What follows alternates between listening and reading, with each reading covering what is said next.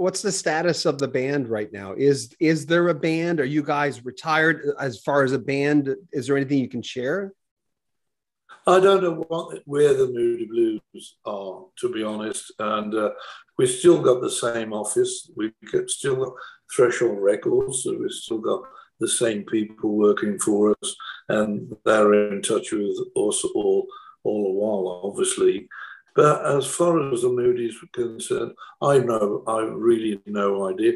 And that's why I wanted to put this album out there, um, keeping the Moody Blues music alive, because there's an audience out there who wants to listen, and there's a musician, it'd be, who wants to play it.